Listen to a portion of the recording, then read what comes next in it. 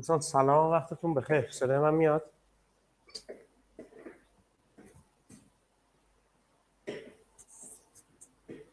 بچه صدای منو دارید؟ یه تایید به من بدید.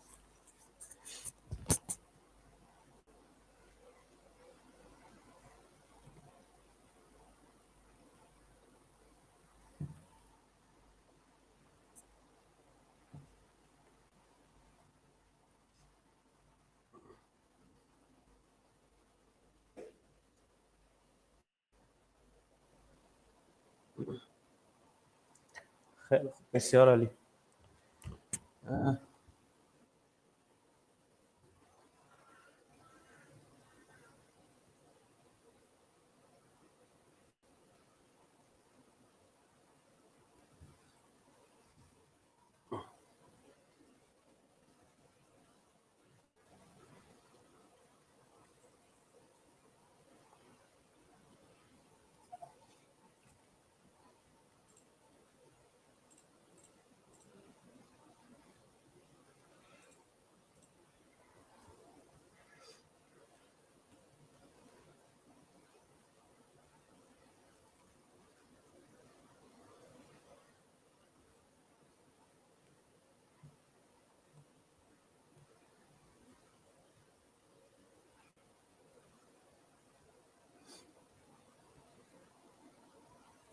خیلی خوب. موس منم الان شما می‌تونید ببینید درسته.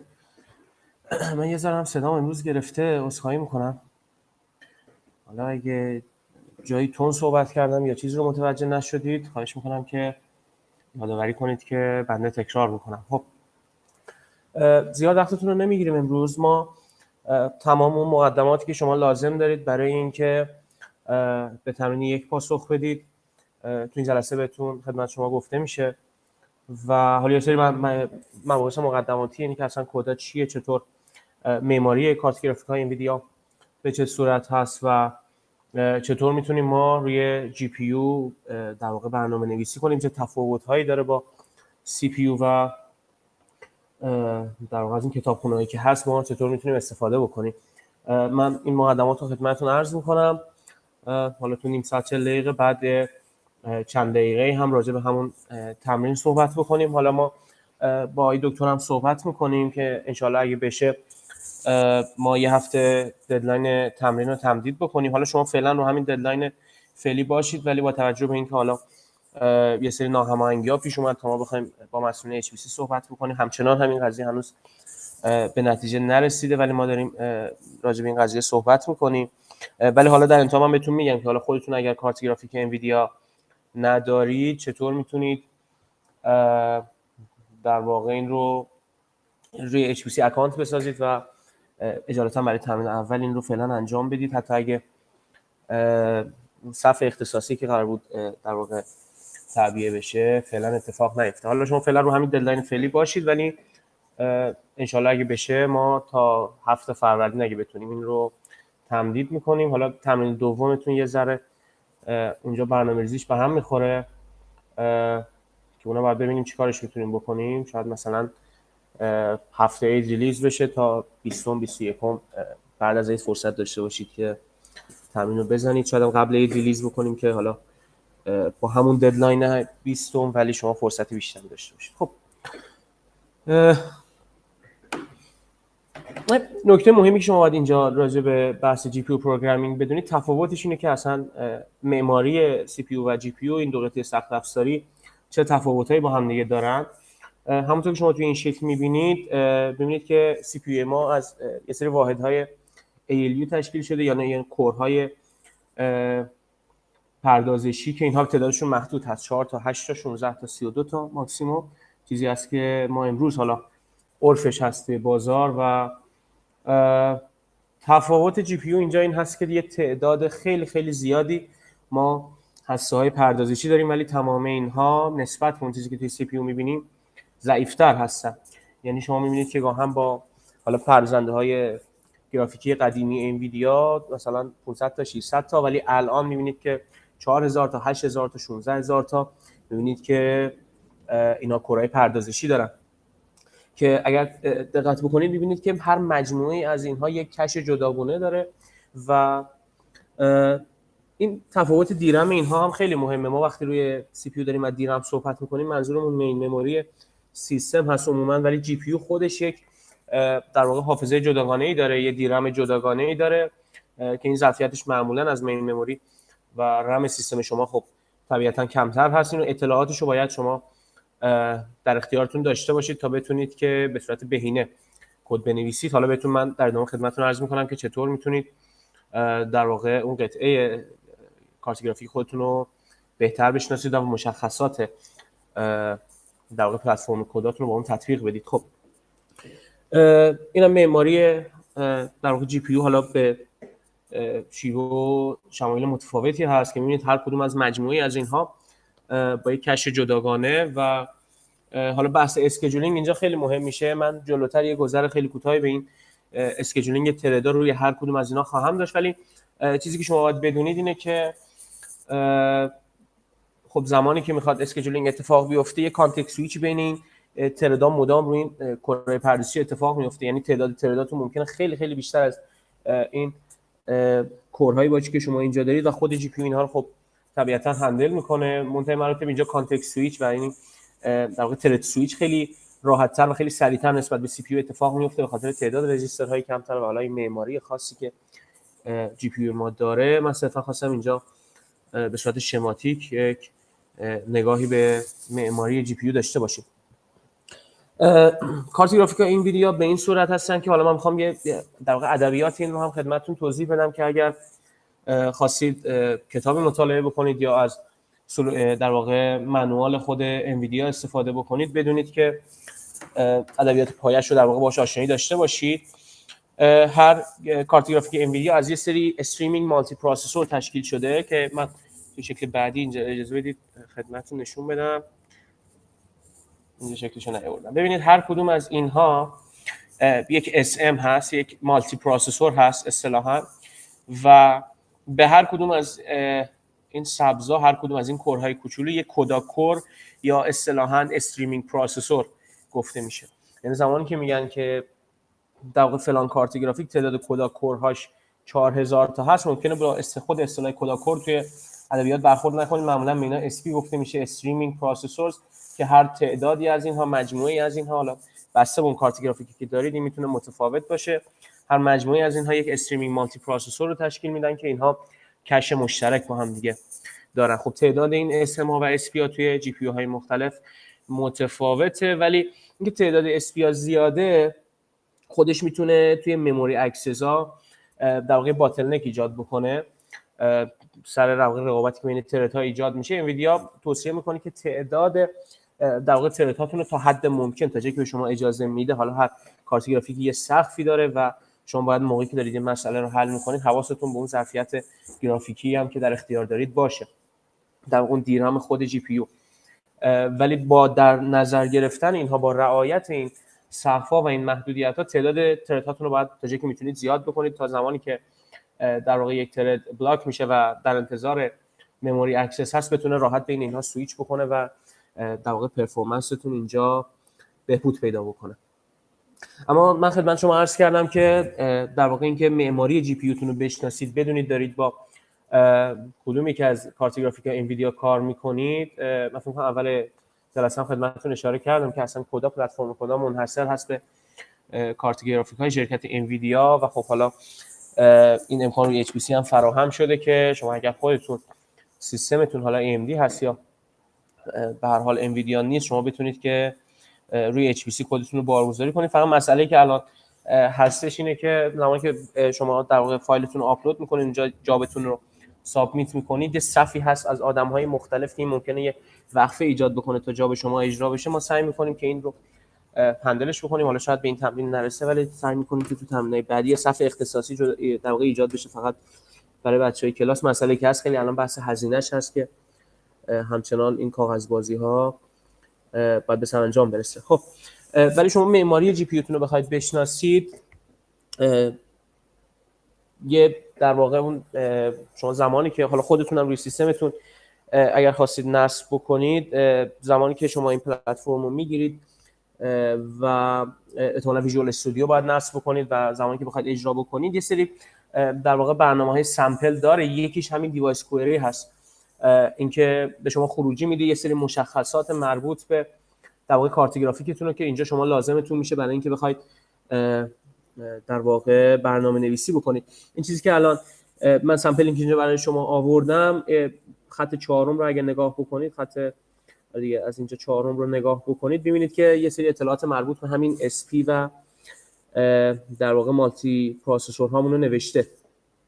اگر توجه بکنید ببینید که تعداد streaming multiprocessor مون حالا اینجا بهش میگه MP ولی SM توی ادبیات NVIDIA بیشتر هست. تعداد multiprocessor های این کارت گرافیک می‌بینید که 5 تاست که هر کدومش می‌بینید که 128 تا در واقع streaming processor یا CUDA core داره و مجموع اینها میشه 640 تا هسته در واقع پردازیشه خب این یکم قدیمی تر هست. الان توی version های جدید مثلا مثل ده حالا جدیدتر به نسبت مثل ده تی ها شما می‌بینید که تا 2000 تا 4000 تا در واقع کف اون تعداد در واقع هسته پردازشی از شما در اختیار دارید. این توی پرزندهای سال اخیر داره در واقع تولید و توزیع میشه خیلی خیلی رقم بیشتر و بزرگتری هست. حالا خب اون چیزی که الان روی HPC دانشگاه هست ما فکر می‌کنیم همین ده 80 تی آی با تجربه قیمت و بحث حرف اقتصادیش هم کفایت می‌کنه اگه اشتباه نکنم 4000 تا 2000 تا یا 4000 تا در واقع کدا کور داره که می‌تونید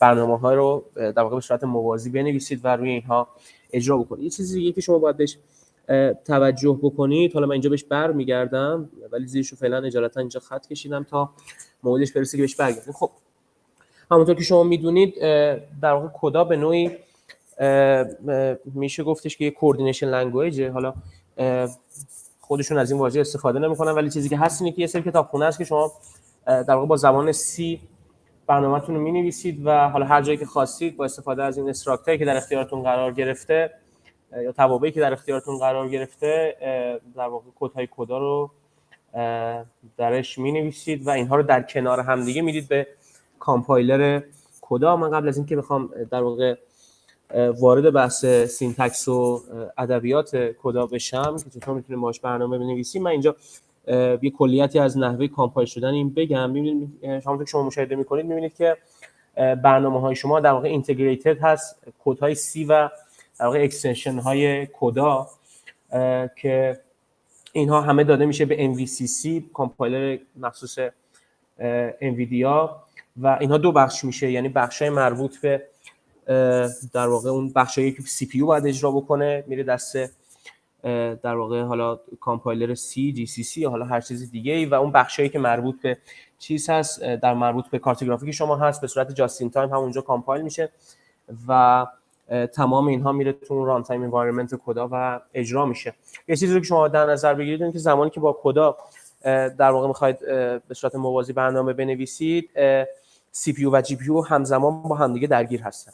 یعنی اینجوری نیست که صرفا نرم افزار شما بره روی در واقع GPU اجرا بشه. CPU هست که همه چیز رو مدیریت می‌کنه manage می‌کنه coordinate می‌کنه و هر جا که لازم بشه یه چیزی رو در واقع pass میده به GPU. یه تابع اینجا فراخوانی میشه یا یه بخشی از کد که مربوط به GPU هست در واقع بهش ارسال میشه. اون کارها در واقع انجام میشه. پردازش های مربوط توی GPU و دوباره result برمیگرده توی CPU و اینجا می‌تونید ازش استفاده بکنید. این ترکیب این دوتا کنار هم دیگه به نوع این پلتفرم CUDA رو شکل میده و همونطور که شما اینجا مشاهده می‌کنید هم حالا با اون در واقع label ها یا اون extension هایی که استفاده می‌کنید structure هایی که استفاده می‌کنید مشخص می‌کنید که این بخش از کد مربوط به GPU و خود کامپایلر اینجا این تفکیک رو انجام میده و برنامهتون رو می‌تونید اجرا بکنید. من یه برنامه آزمایشی هم براتون توی گروه سعی می‌کنم قرار بدم. ببینید یه چیزی که هست اینه که ممکنه شما زمانی که برنامهتون اجرا می‌کنید حالا به علت اینکه شاید پکیجی درست نصب نشده باشه یا نرم افزارتون درست نصب نشده باشه یا کدتون در واقع مشکلی داشته باشه ممکنه اون بخش مربوط به جی پی اجرا نشه. ولی حالا به دلایلی که اینجا هست شما ممکنه ارور هم دریافت نکنید. اگر می‌خواید که در واقع error ها رو دریافت کنید از این سری حالا کتابخونه هست اینجا. می‌تونید استفاده کنید. من اینها رو هم مجدد براتون توی گروه قرار میدم. ولی خب دل بخواه که کار debug و تست شما رو راحت تر می‌کنه. ولی از یه طرف دیگه هم ممکنه اون بخش مربوط به GPU تون درست اجرا نشه. ما کدی خدمت شما میدیم. حکم hello world داره. اینو می‌تونید اجرا بکنید. اگر در اون بخشای مربوط به GPU به طور صحیح اجرا بشه و اون تغییرات مد نظر اتفاق بیفته یه خروجی به شما میده در غیر این صورت یه خروجی دیگه به شما میده که نشونگر این هست که داره برنامهتون تو CPU اجرا میشه. ولی خب به حالا به علت هر مشکلی که هست توی GPU در اون بخش مربوط به GPU اجرا نمیشه و پردازش اصلی شما انجام نمیشه. ما اون خدمتتون قرار میدیم که در واقع بتونید تست کنید. گام اولتون این هست که بتونید برنامه رو اجرا بکنید و در گام های بعدی انشالله بتونید که با این مقدماتی خدمت شما عرض می‌کنیم بتونید که پاسخ سوال ها رو هم به راحتی بنویسید. سوال زیاد سخت نیست. من چیزی خدمت شما میگم همین بیسش اساسش همین هست که حالا مهارت برنامه‌نویسی شما. خیلی هم زیاد چیز سنگینی نیستش ولی منطق برنامه رو شما بتونید اینجا در بیارید. شاید مهمترین وجهش باشه. خب همونطور که من خدمت شما عرض کردم هر برنامه کدا می‌بینید که دو بخش در واقع تشکیل شده. یه بخش مربوط به GPU یه بخش مربوط به CPU که اتفاقی میفته اینه که میگم CPU اونجا به عنوان coordinator در واقع استارت برنامه از اونجا می‌خوره. حالا هر جا که نیاز باشه ما در واقع ارجاع میدیم به GPU تا اون محاسبات سنگین به صورت parallel انجام بشه. تو این در واقع device part یه چیزی هم خدمت شما عرض بکنم این که معمولا توی ادبیات CUDA و حالا کتاب هست ما به GPU میگیم device و به CPU میگیم host یا host که این حکم همینو داره که CPU اینجا در واقع میزبان این کد ها هست و هر جا که نیاز باشه این رو به device ارجاع میده تا در واقع پردازش ها صورت بگیره. پس device و host رو شما در نظر داشته باشید که ما ممکنه به جای به ترتیب GPU و CPU اینجا استفاده بکنیم.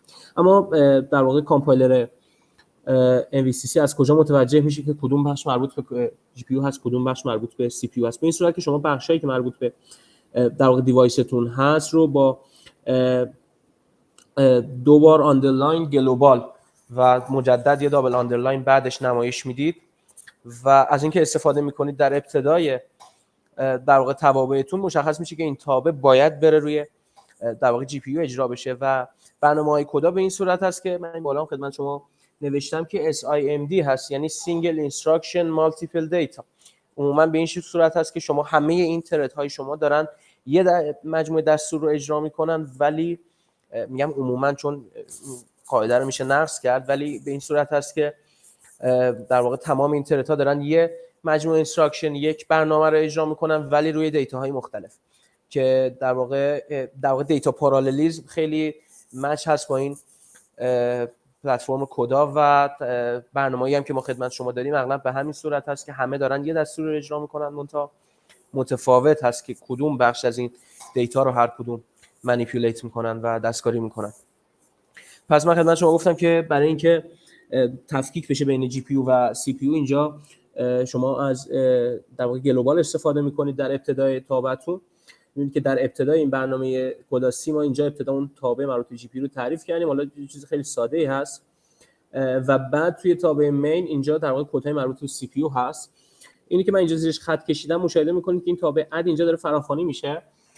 یعنی ما به نقطه می‌رسیم که CPU حالا این رو ارجاع میده به GPU با یه سری argument مشخص. ممکنه مثلا دو سه تا آرایه اول اینجا خودش ایجاد بکنه بعد اینها رو ارجاع بده به CPU به, GPU می‌کنم و در واقع پردازش به صورت موازی اونجا انجام بشه. تعداد زیادی thread اینجا ایجاد میشه و در واقع اون پردازشی که شما مورد نظرتون هست انجام میشه. حالا ما خدمت شما میگیم که این در واقع آرگومانایی که اینجا دارید می‌بینید که سه تا انگولر براکت گذاشته بعد یکی گذاشته دوباره سه تا انگولر براکت و بعد آرگومان های اون تابع هست. اینها رو ما خدمت شما عرض می‌کنم که چی هستش ولی صرفا شما بخواید یه کلیتی از این بدونید یه هلو ورلد اینجا داشته باشین. این هست که اینجا یه تابع اد می‌خواد اجرا بشه. یه سری در واقع آرگومان براش ارسال میشه. اینها با هم دیگه جمع میشن و توی یه حاصل اینجا ذخیره میشه و در نهایت اون حاصل اینجا میاد در واقع برای کاربر نمایش داده میشه. یعنی بعد از اینکه این در واقع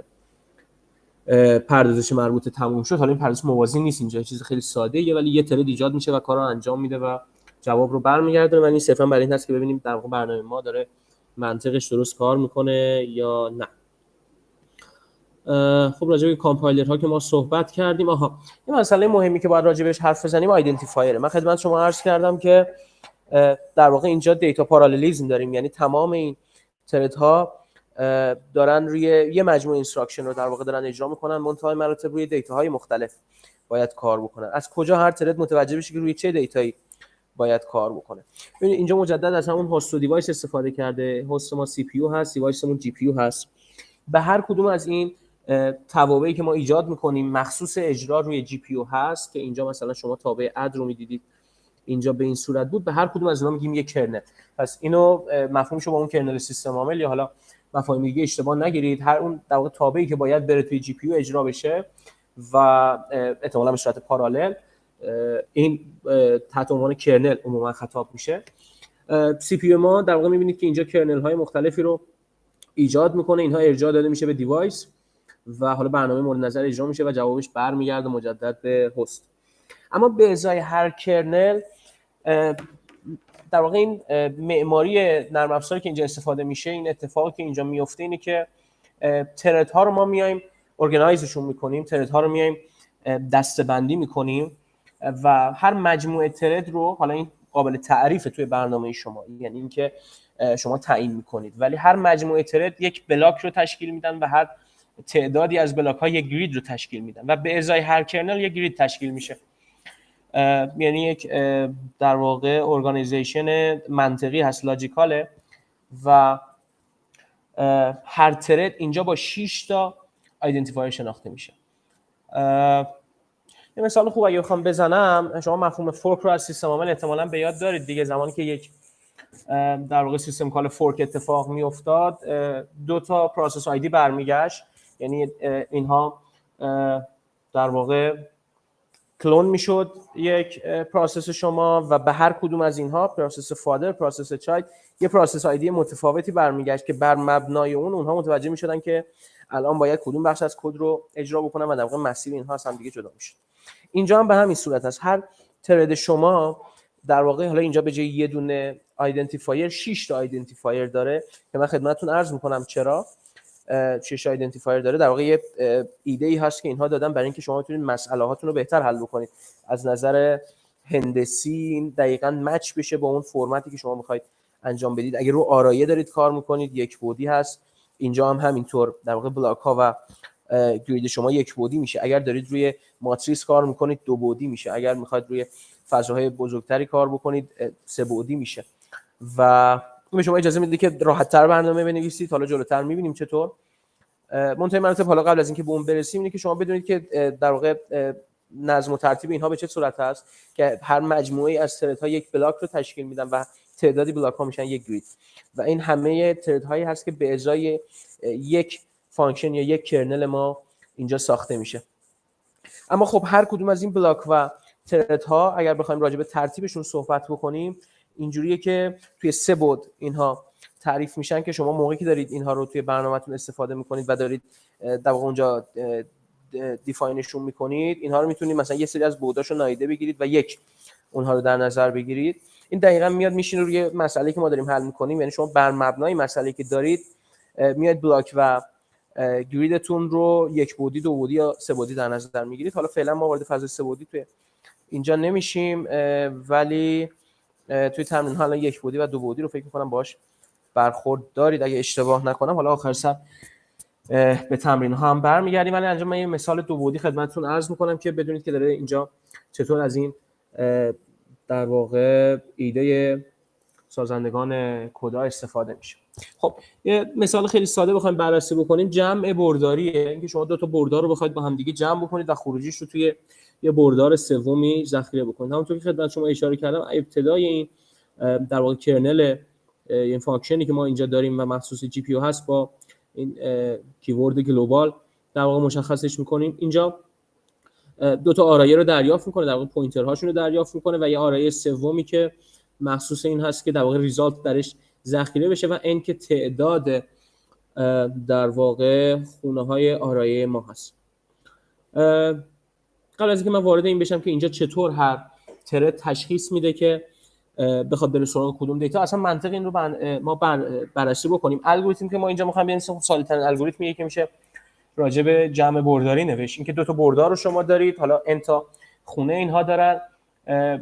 اینجا که ما محدودیت تعداد processor اینجا نداریم در واقع processor هامون logical هستن. ما هر تعدادی که بخوایم می‌تونیم thread بسازیم.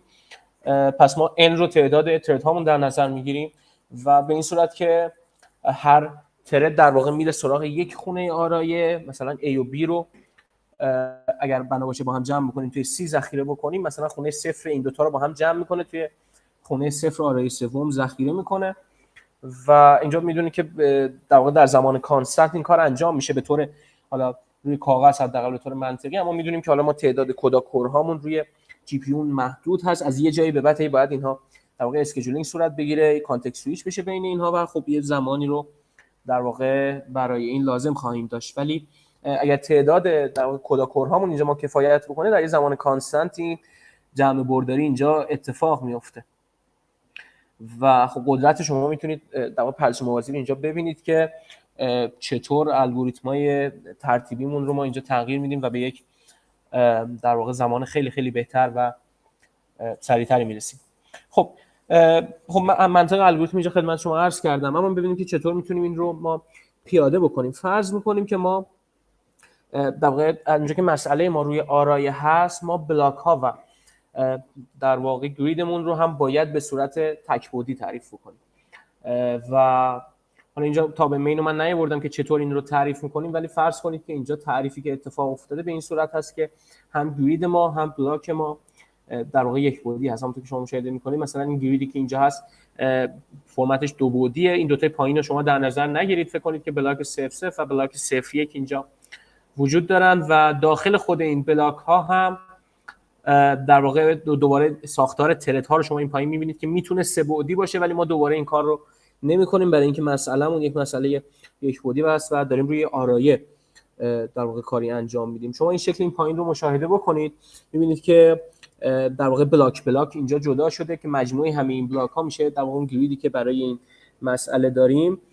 و از اونجا که گرید ما تک بودی هست می‌بینید که بلاک های ما هم اینجا در واقع تنها روی محور یک تعریف شدن و داخل خود بلاک هم می‌بینید که هر کدوم اینها می‌تونست دو بعدی باشه ولی اینجا تک بودی هست و همون ساختار آرایه رو داره تداعی می‌کنه. خب مسئله اینکه این هست اینجا اینه که هر کدوم از این ترت های ما اینجا که وظیفه دارن که یک خونه آرایه و در دو خونه آرایه رو با هم جمع کنن توی خونه سوم ذخیره کنن. باید متوجه بشن که روی کدوم خونه آرایه در واقع باید برن. کد تمام اینها یکسان هست. فقط تنها چیزی که هست اینه که به اینا یه سری مقادیر متفاوتی برمیگرده به ازای این در واقع کیورد که شما اینجا می‌بینید یعنی در واقع thread index ی که اینجا دارن در واقع index مربوط به thread شون رو برمیگردونه. block index و block dimension هم الان خدمت شما عرض می‌کنم که هر کدوم اینها چی هستش.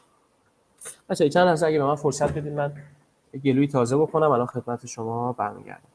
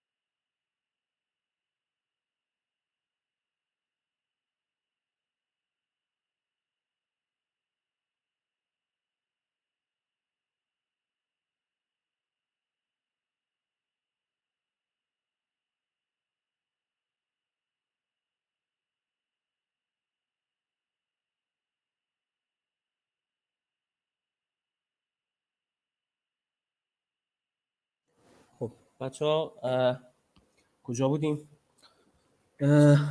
آها جمع برداری اینجوری بود که گفتیم هر کدوم از اینها هر کدوم از این thread ها در واقع یه سری identifier دارن یه سری index دارن که از طریق اون متوجه میشن که خب الان موقعیتشون توی اون در واقع ساختاری که ما داریم اون structure ی که داریم روش صحبت می‌کنیم کجا هست.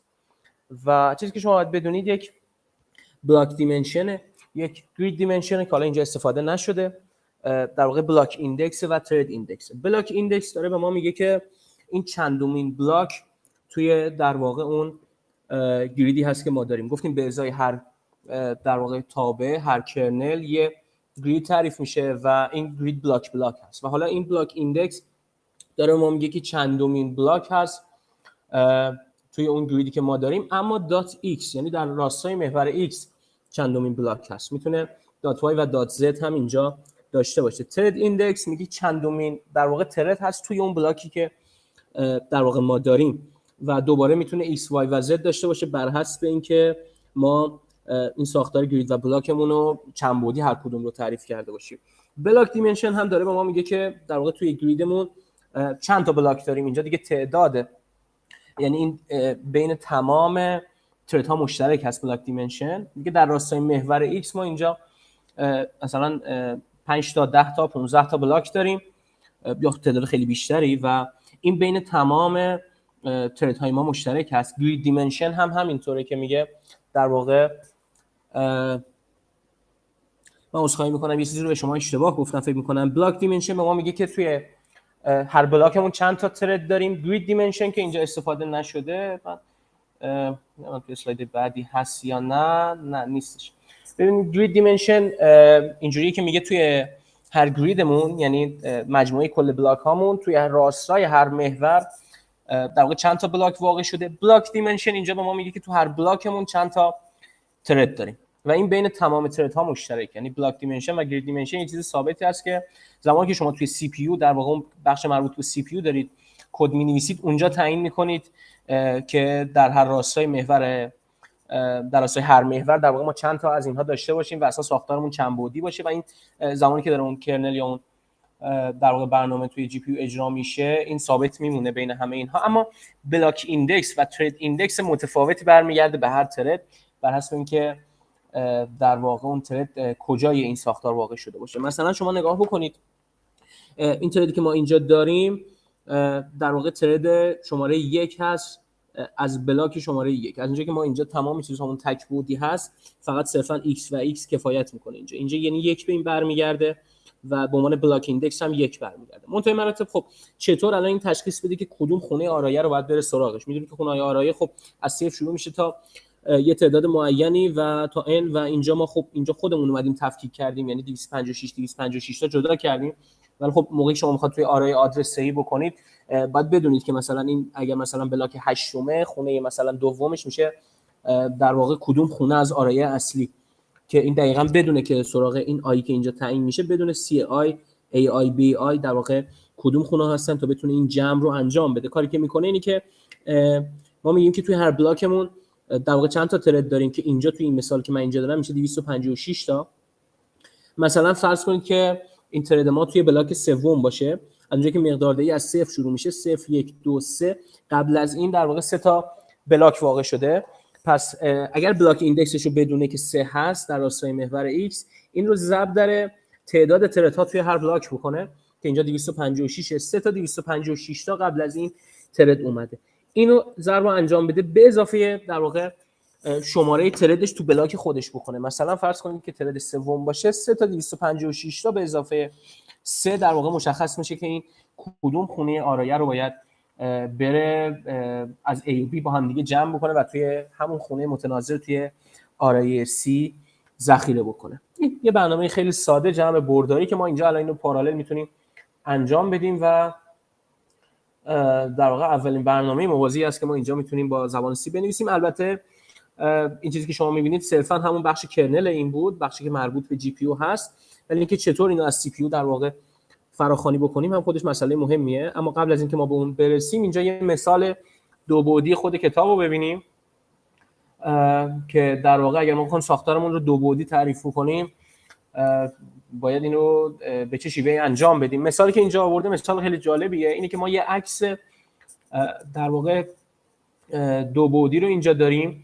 که یه مشخصاتی داره. می‌دونید که هر کدوم از اینها در واقع هر کدوم از این پیکسل های این یک رنگی رو تداعی می‌کنن و اینها در کنار هم دیگه می‌بینید که این شکل ما رو تشکیل میده. اتفاقی که میفته اینه که ما می‌خوایم بریم سراغ هر کدوم از این پیکسل ها حالا با توجه به اینکه عکس رزولوشنش چند هست و ما می‌خوایم بریم سراغ هر کدوم از این پیکسل ها این پیکسل ها رو یه تغییری بدیم که عکس ما از در واقع حالت رنگی به حالت سیاسفید تغییر بکنه.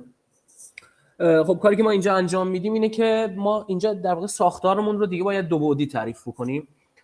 و نیاز هستش که زمانی که grid و block رو ما داریم اینجا تعیین می‌کنیم اینها رو هم در راستای محور X و هم در راستای محور Y ما اینجا مشخصاتش رو بگیم و در ادامه می‌بینیم که چطور این میاد میشینه روی ساختار عکس ما و ما اجازه میده که هر ترد بره سراغ یه دونه از این پیکسل ها و اون تغییرات مورد نظر رو در واقع انجام بده. یه چیزی رو باید مثلا چه می‌دونم اگر هر عدد رو هر رنگ رو ما اینجا با یه عدد تداعی بکنیم یه چیزی ازش کم بکنه زیاد بکنه تا به اون عدد متناظرش توی سیاسفید تبدیل بشه با اون در واقع در واقع درصد تیرگی یا روشنی مشخص و این عکس به از حالت رنگی به حالت سیاسفید تغییر بکنه.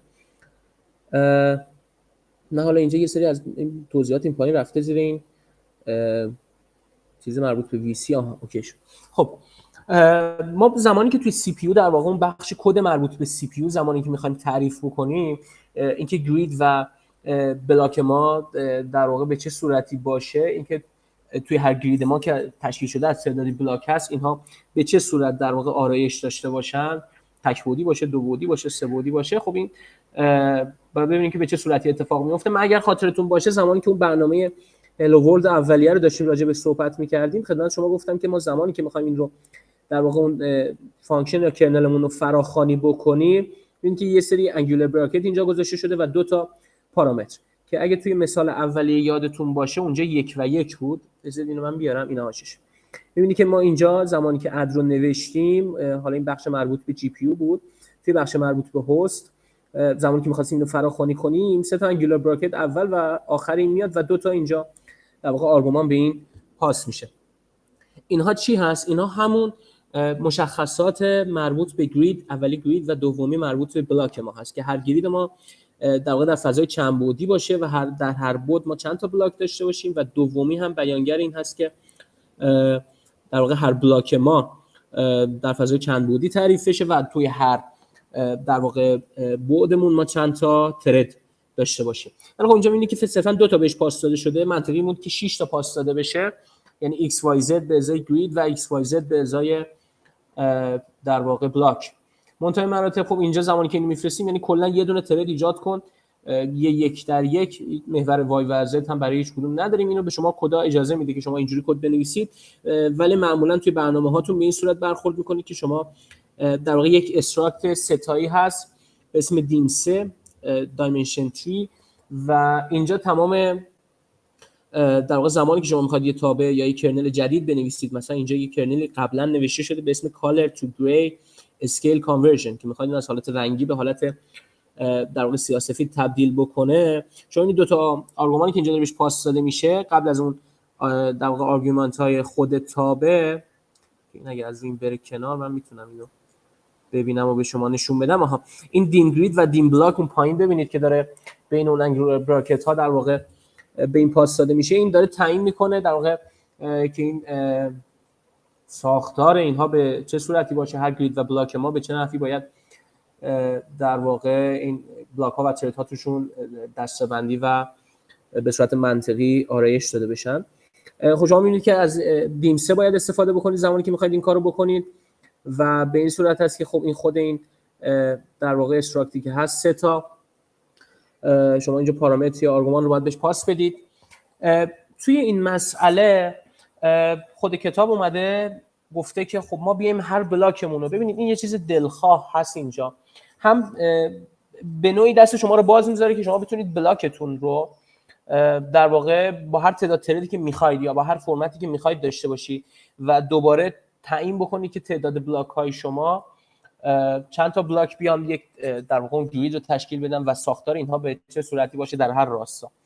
منتهای مراتب خب یه سقفی داره و یه یه سری best practice هست که شما اینها رو چطور انتخاب بکنید.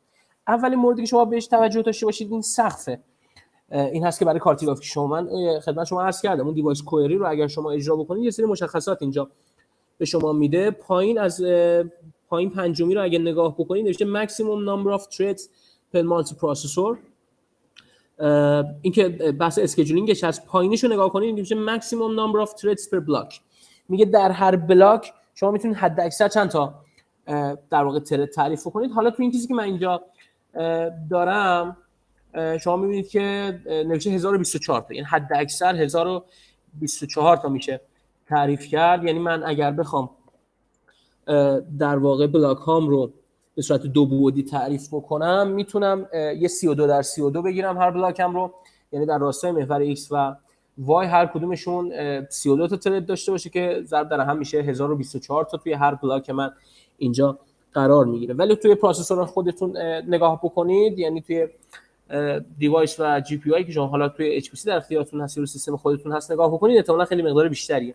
این سقف رو باید رعایت بکنید. این یه نکته. و نکته دوم اینه که best practice ها چی میگه؟ یعنی توصیه خود این ویدیو و توصیه در واقع صاحب نظران این حوزه چی هستش؟ من زیاد وارد بحث scheduling اینها نمی‌خوام بشم. یعنی چون این بحث حاشیه‌ای ما اینجا بیشتر با منطق برنامه اینکه شما اون کدی که دارید می‌نویسید منطقش درست باشه و در واقع بتونه به صورت موازی حالا اون کاری که خواسته شده رو انجام بده. ما بیشتر با اون سر و کار داریم. درس اون حالا درس تئوری تر هست. اون مراتب اگر بخواید راجع به این scheduling اینها هم بخونید. خب بهتون توصیه میشه. اگر بخواید حتی خیلی حرفه‌ای‌تر کدا کار بکنید. و مثلا اینکه هست اینه که اینا زمانی که می‌خواد در واقع اینترنت ها رو روی اون اسم ها و اسپی ها بخواد اسکجول بکنه اسکجول اتفاقی که میفته اینه که اینها رو در مجموعه های 32 تایی به اسم وارپ WARP اینها رو در واقع می‌گیره و اسکجول می‌کنه و هی بین اینها سویچ انجام میده. و برای همین اینجا توصیه شده که شما زمانی که می‌خواید در واقع گرید و بلاکتون رو تعریف کنید. به طور خاص بلاکتون رو می‌خواید تعریف بکنید اینکه هر بلاک چند تا ترد داشته باشه. سعی کنید حالا در واقع مضارب 16 استفاده کنید. 16 32 48 64 اتفاقی هست که در واقع زمانی که این به صورت 32 تا 32 تا اینها رو جدا می‌کنه و دسته بندی می‌کنه شما یه سری وارپ اضافه با ترد کم نخواهید داشت که اونجا بخواد در واقع performance نرم افزار شما رو کاهش بده. خیلی وارد این مباحث نمی‌خوایم بشیم. خب best practice اینه که شما معمولا از همین مضارب 16 16 در 16 32 در 32 بسته به اینکه حالا این سقف مورد نظرتون توی کارت گرافیکتون چی هست استفاده کنید. مثالی که توی کتاب اومده این رو اومده هر block مون رو در واقع 16 در 16 در نظر گرفته. شما این پایین اگر مشاهده بکنید می‌بینید که x و y رو 16 گرفته و برای محور z یک گرفته یعنی اینکه این دو بعد کفایت می‌کنه و بعد سوم رو ما نیاز نداریم. اما خب عکس ما در واقع یه طول و عرضی داره دیگه یه ام و انی داره. و ما اومدیم گفتیم که هر بلاکمون ما می‌خوایم که در واقع به صورت 16 در 16 باشه. منتهای مراتب خب ما باید بدونیم که در واقع مجموع تریدایی که باید ایجاد بکنیم چند تاست. یعنی این 16 در 16 ماکسیموم می‌تونه 1000 اسخای می‌کنم 256 تا ترید رو می‌تونه ساپورت بکنه. و خب چند تا از این 256 تا می‌خوایم که کل عکس رو ما بتونیم پوشش بدیم. اتفاقی که میفته اینه که ما باید بیایم ام و ان طول و عرض این رو تقسیم به 16 بکنیم دیگه. یعنی موقعی که در دیم در واقع دیم گرید یا گرید دیمنشن رو تعریف می‌کنه میاد میگه که ام رو تقسیم به 16 کن و سقفش رو در نظر بگیر و برای این هم همین کارو می‌کنه. مجدد از اونجایی که فضای دو بعدی رو ما اینجا با سر کار داریم برای زد هیچی در نظر نمی‌گیره. تصویر بعدی اینو خیلی به شما بهتر نمایش میده. ببینید این کلیت این رو شما اگر عکس ما در نظر بگیرید می‌بینید که حالا اینجا یه سری پررنگ هست اینجا خیلی در واقع کم رنگ تر هست. این فضای پررنگی که اینجا هست رو هم از پایین یکم اینجا اضافه داره هم از بغل اضافه داره. این پررنگ ها رو که کوچیکتر هست شما عکس ما در نظر بگیرید. و در واقع این فضای کلی این در واقع مستطیل بزرگتری که اینجا اومده روی این قرار گرفته رو تعداد ترت های ما در نظر بگیرید. و فرض کنید که اینا رو ما در واقع انداختیم روی همدیگه تا بدونیم که هر ترت باید بره سراغ کدومی که از این در واقع پیکسل ها و این رو باید تغییر بده. خب بلاک رو ما اینجا 16 در 16 گرفتیم. یعنی هر کدوم از این بلاک ها 256 تا ترت دارن اینجا که اینها میان روی این عکس ما میشینن و تعداد در واقع block هامون ما بر اساس همون m و n بر اساس طول و عرض این عکس تعیین کردیم. اما خب ceiling گرفتیم یعنی سقفش رو در نظر گرفتیم. چرا؟ چون ممکنه خب thread کم بیاد و اینجا خب نتونیم یه سری از پیکسل رو دستکاری کنیم. عکس ما نصف رنگی میشه نصف سیاه سفید کاری که اینجا انجام میدیم اینه که تعداد thread امون رو بیشتر می‌گیریم ولی خب یه سری از این thread ا اینجا dummy هن. یعنی هیچ کار خاصی انجام نمیدن و خب حالا به خاطر محدودیتی که ما داریم اینجا همون best practice که خدمت شما عرض کردم دیگه خیلی سعی نمی کنیم که این رو دقیق بنداzیم. فقط سعی می کنیم که تعداد thread هایی که اینجا داره هرز میره تعداد کمی باشه و باعث بشه که خیلی روی performance ما تأثیری نداشته باشه. البته ما زمانی که داریم کد رو می‌نویسیم به این thread ا اعلام می‌کنیم که شما هیچ کاری نیازی نیست. انجام بدید و خب اینقدر الان بعد تقریبا 15 20 سال این پلتفرم انویدیا و CUDA انقدر هوشمند هست که اینجا زمانی که در واقع این کارش تموم شده و کاری نباید انجام بده اینجا نره این رو در واقع مدام schedule بکنه و GPU time ما رو اینجا حروم بکنه. اما حالا از این بحثا که بگذریم شما مشاهده می‌کنید که هر کدوم از این در واقع thread های ما اینجا میاد یه دونه از این پیکسل ها رو به عهده می‌گیره. فرض می‌کنیم که حالا تعداد پیکسل های ما هم واقعا همینقدر هست. یعنی تو این ابعاد داریم روی این عکس کار می‌کنیم. و اینجا این شماره گذاری من خدمت شما گذاشتم که تو کتابا و تو این منوال این ویدیو بیشتر با این صورت می‌بینید که شماره گذاری اینها. ما زمانی که داشتیم دیم گرید و دیم بلاک رو تعریف می‌کردیم خب اولی x دومی y و سومی z منتها اینجا زمانی که داره شماره گذاری می‌کنه این رو توی پاورقی ها معمولا تاکید می‌کنن که شما حواستون باشه که این برعکسه. یعنی 0 0 0 1 این دومی وسط من نمایش دادم. این دومی x چون در اصل محور x داریم صحبت می‌کنیم و این یکی رو y می‌گیریم. در واقع ارتفاع ما اینجا میشه همون محور وای ها و اگر زد هم داشته باشیم خب در این راستا میره و دوباره ابتدای این یه دونه اضافه میشه. یعنی صفر دو دو مثلا. این باید در نظر گرفته بشه که حالا چون اینجا ما با فضای دو بودی کار داریم زیاد راجع به این صحبت نمی کنیم. این رو فقط خواستم خاطر نشان بکنم که حواستون باشه. این کد مربوط به همون در واقع برنامه‌ای هست که ما داریم. اون بخشی که من خدمت شما نمایش دادم این بخشی که این پایین نمایش دادم این مربوط به در واقع CPU هست. اون بخشی هست که توی CPU باید اجرا بشه. اما اینجا در واقع خود kernel رو داریم که این میره توی GPU و زمانی که از CPU فراخوانی میشه خب توی GPU این در واقع اجرا میشه. این ابتدا شما می‌بینید که برای اینکه هر ترد بدونه که کدوم سطر و کدوم ستون باید بره دوباره از همون تکنیک مثال جمع برداری ما استفاده می‌کنیم. اینکه شما می‌بینید که از در واقع گرید دیمنشن هم خیلی استفاده نمیشه. چون ما زیاد باش کاری نداریم. در واقع بیشتر با این کار داریم که تو هر بلاک ما چند تا ترده. حالا اینکه مجموعه در واقع گرید ما چند تا block رو شامل میشه خیلی باش سر و کار اینجا نداریم. معمولا تو مثالمون این شکلی هست که ما block dimension رو که خب گفتم خدمت شما عرض کردم برای تمام thread ها مشترک هست مقادیر x و y و z اینجا در نظر می‌گیریم و با استفاده از این و thread index و block index که منحصرا مخصوص اون thread هست یعنی اینکه توی چندمین block واقع شده و توی خود اون block چندمین thread ش هست در راستاهای مختلف ما اینجا میایم تعیین می‌کنیم که در واقع این باید بره رو کدوم یکی از این مقادیر این ماتریس دو. در واقع ماتریسی که ما اینجا داریم بره کار بکنه. شما می‌دونید که اینو اگه ما خواهیم تداعی بکنیم یه آرایه دو بعدی هست در واقع. این پیکسل که اینا دارن که هر کدومشون یه value رو داره نگهداری می‌کنه و هر thread لازمه بره رو اون value دستکاری انجام بده. اگه ما به تعداد کافی thread داشته باشیم در زمان constant اینجا به راحتی قابل انجامه و همونطور که شما اینجا خودتون هم می‌تونید مشاهده بکنید ببینید که برای تعیین هر سطر و ستون دوباره از همون تکنیک جمع برداری استفاده می‌کنه. اینکه میاد block dimension رو در راستای اون محور خاص ضرب در block index می‌کنه. چند تا block قبل من اومده تو هر block.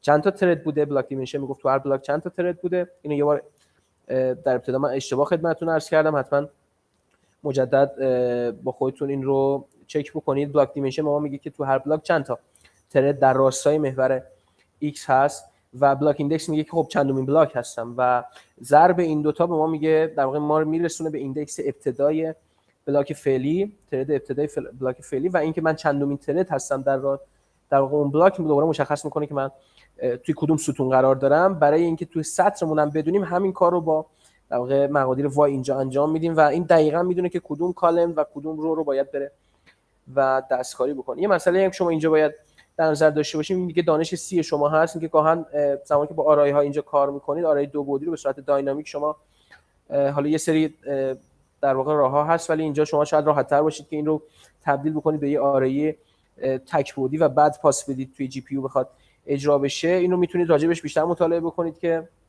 تبدیل آرای آرای دو بودی به آرای یه بودی چجوری است. ولی اغلب مثالی که اینجا هست اینه که در واقع میان index رو دوباره یعنی این column و row رو که شما پیدا کردید بسته به اینکه مثلا row major داره ذخیره میشه یا در واقع column major که اینجا توی C row major هست شما باید اینو بیاد تبدیل بکنید به index آرایه یک بعدی. یعنی الان من سطر و ستون رو در حالت دو بعدی دارم ولی از اونجا که آرایه من اینجا توی مثال یک بعدی تعریف شده و ارسال شده اینجا حالا با هر علتی چون dynamic بوده اینجا من مجبورم که این رو تبدیل بکنم به در واقع ایندکس مربوط به آره تک بودی و روی آره تک بودی من برم سراغ اون ولیوی خاص و تغییرات مد نظر رو انجام بدم. اینو راجبش بیشتر خودتون می‌تونید مطالعه بکنید. خیلی به کداسی مربوط نیستش. یه مثال خیلی پیچیده‌تر رو بخوایم اینجا بررسی بکنیم. ضرب ماتریسیه. شما دیدید که تا اینجا حالا ما رفتیم روی در واقع دو تا بردار رو با هم دیگه جمع کردیم. یا مثال دوم این بود که یه دونه ماتریس ما داشتیم صرفا و می‌خواستیم بریم در واقع روی این ماتریس. هر کدوم از ها برن سراغ یه دونه از این value های این ماتریس. اما هرچی ما جلوتر میریم مثال هامون داره پیچیده تر میشه روی مثال که ما اینجا داریم عذرخواهی می‌کنم من گوشیمو silent کنم. روی مثالی که اینجا داریم این که ما می‌خوایم دو تا ماتریس رو در همدیگه ضرب بکنیم و حاصل ضرب این ماتریس رو در واقع ما به کاربر بدیم. می‌بینید که اینجا دوباره تنها کد مربوط به تابع مربوط به GPU همون kernel رو اینجا نوشتیم که این M و N و در واقع P رو می‌گیره P همون خروجی ما هست. ماتریس حاصل و M و N قراره در همدیگه همون شکل این بغل شما اگه نگاه بکنید M و N در همدیگه ضرب میشه. بچه‌ها موس منو دارید شما؟ من دارم با موس اینا رو نشون بدم می‌بینید؟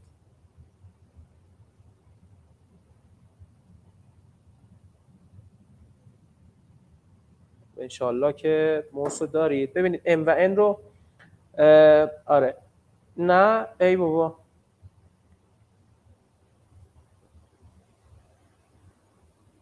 آخ آخ من تمام این مدت داشتم با موس نشون می‌دادم و شما نمی‌دیدید. خب این بد شد. حالا اگه جایی رو مشکل داشتید به من بگید که من برگردم این رو توضیح بدم. یه بار دیگه هم پرسیدم کسی چیزی نگفت. کجا خیلی مهم بوده که من با موس نگفته باشم؟ آره. همین دیم بلاک رو شما اینجا باید حواستون می بود دیم گرید که اینجا در واقع تعداد بلاک ها رو توی گرید میگه. دیگه اینجام که این تابع عدمون بود که اینجا ما دوباره داشتیم فراخوانی می‌کردیم و این هم دیوایس کوئری ما هست. این در واقع بحث تعداد multiprocessor ها و CUDA core ها بود و اینجا هم در واقع تعداد thread ها توی هر block سقف تعداد thread های مجاز توی هر block. دیگه مسئله مهمی نبوده که اینجا من نگفته باشم. آها. یه بار دیگه راجع به block dimension هم اینجا گفتیم که این block dimension توی همه thread ها مشترکه. block index و thread index هم متفاوته. برای هر thread و اینجا هم راجع به ترتیب اینها یه صحبتی کردیم که این x این y و در واقع بلاک هامون اینجا به چه صورت ما دسته بندی کردیم. خب اینجا راجع به ضرب ماتریسی اگه بخوایم صحبت بکنیم ما m و n رو داریم در هم دیگه اینجا ضرب می‌کنیم و حاصل رو توی ماتریس p اینجا ذخیره می‌کنیم. اتفاقی که میفته چیه؟ اینکه ما باید حالا توی کلاس درس هم شما دیدید که این به طرق مختلفی می‌تونیم ضرب ماتریس رو ما انجام بدیم. یکی از ساده ترین راههایی که ما اینجا داریم اینه که خب بیایم هر ستون و در واقع هر هر سطر و هر ستون رو به عهده یک ترد بذاریم ضرب اینها و جمع نهاییشون رو. و در واقع به ازای هر کدوم از خونه های این ماتریس نهایی ما یک ترد در نظر بگیریم که این میره سطر و ستون مربوطه رو در همدیگه ضرب می‌کنه و مقادیر رو با هم جمع می‌کنه و توی این خونه مربوط به خودش اینجا ذخیره می‌کنه. پس اگر در واقع ماتریس ما ان در ان باشه ما اینجا ان دو تا ترد بیشتر در واقع ایجاد نمی کنیم خب ولی سربارش یکم اینجا برامون بیشتر هست. از نظر پرفورمنس زیاد این کدی که اینجا داریم بهینه نیست. ما خیلی بهتر از این می‌تونیم عمل کنیم. می‌تونیم که حتی هر کدوم از این ضرب ها رو به عهده یک ترد بذاریم. ولی خب با توجه به سخت افزاری که داریم و با توجه به تعداد محدود کدا کورها و حالا اینجا که ما راجع به حالا مثال ساده ساده تر داریم صحبت می‌کنیم. اینجا همین الان کفایت می‌کنه. ولی شاید بتونیم این رو بهینه تر هم بنویسیم. بسته به حالا کارت که ما در اختیارمون هست. اما اینجا ما زمانی که بخوایم در واقع مشخص بکنیم این الگوریتمی من خدمت شما توضیح دادم دوباره زمانی که بخوایم مشخص بکنیم که این سراغ کدومی که از سطر و ستون ها باید بره شما می‌بینید که اینجا دوباره در همون تکنیک خودمون استفاده می‌کنیم. این که میاد در واقع block index رو در block dimension می‌کنه به علاوه یه thread index می‌کنه و متوجه میشه که کدوم سطر رو باید بره بخونه. و اینجا می‌بینید که در واقع دوباره block index ضرب در block dimension به علاوه thread index اینکه کدوم column رو باید بخونه. و اینجا توی یک حلقه اینجا میاد در واقع مقادیر رو با هم دیگه جمع می‌کنه. منتهی مراتب دوباره من خدمت شما عرض کردم که در واقع اگر بخواید که شما یه array دو بعدی داشته باشید ولی اینجا به صورت یه بعدی شما بخواید این مقادیر رو در واقع منطقتون یک دو بعدی باشه یک ماتریس باشه اما اینجا در واقع استراکچری که استفاده می‌کنید تک بودی باشه. چون این تغییرات رو باید انجام بدید روی اینکه در واقع از اون سطر و ستون با, اون مقادیر بتونید به این نتیجه برسید که توی این مات در واقع آرایی بودی باید برید سراغ کدوم ولیو اینکه بر حسب اینکه شما الان دارید اینجا دنبال سطر یا دنبال ستون دارید میگردید و اینجا متفاوت میشه که کدومی که از این مقادیر رو شما باید برید سراغش می‌تونید بخونید ببینید که تو تابع M اگر در واقع اینجا اصلا می‌کنم توی ماتریس M اگر ما بخوایم اینجا به صورت یک آرای تک بودی تعریفش کرده بودیم چطوری باید ایندکس رو از دو بود به یه بود تغییر بدیم و توی آرای n باید چطور این رو تغییر بدیم؟ بر حسب جایگاهی اینها دارن و ضرب این دو تا باید بشه در واقع مقدار و ولیو نهایی توی ماتریس حاصل. خب اینجا تا اینجا ما تقریبا تمام چیزایی که شما برای اصول و مبنای کدا احتیاج داشتید ما خدمت شما گفتیم. اینکه شما چطور باید بیاد اینکه هر ترد در واقع هر بلاک و هر گریدتون رو چطور تعریف کنید این چطور میاد رو مسئله های مختلف ساختاری که تعریف می‌کنید میشینه و هر ترد از کجا تشخیص میده که در واقع سراغ کدومی که از این دیتا ها باید بره. همونطور که گفتیم اینجا SIMD هست یعنی اینکه single instruction multiple data data های مختلف ولی همه اینها دارن thread ها یه کار انجام میدن ولی خب سراغ بخش متفاوتی از data ما میرن. مسئله هایی هم که خدمت شما داریم تقریبا همین هست. حالا توی تمرین های بعدی اینها یکم پیچیده تر میشه. اگه اینجا فقط مثلا روی یک بعد ما اینجا سر و کار داریم توی مثال های بعدی تمرین های بعدی احتمالا مثال ها و تمرین های دو بعدی هم خواهیم دید. من ازتون خواهش می‌کنم که حتما این مباحث و مفاهیم رو مسلط بشید که انشاءالله توی تمرین های بعدی هم هیچ مشکلی نداشته باشید. اما خب تا اینجا ما صرفا راجع به این keyword ها و structure های مختلفی که CUDA داره صحبت کردیم. یه بحث خیلی مهم دیگه اینجا بحث memory allocation هست.